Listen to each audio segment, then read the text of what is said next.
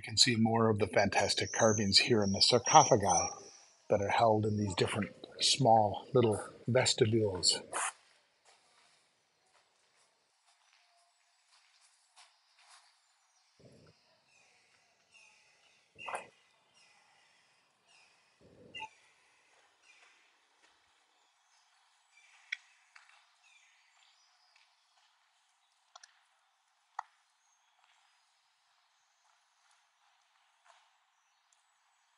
Really quite impressive.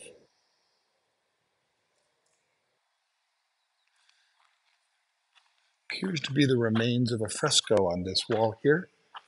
Very little remains, but oh yeah, you can see it when you look up.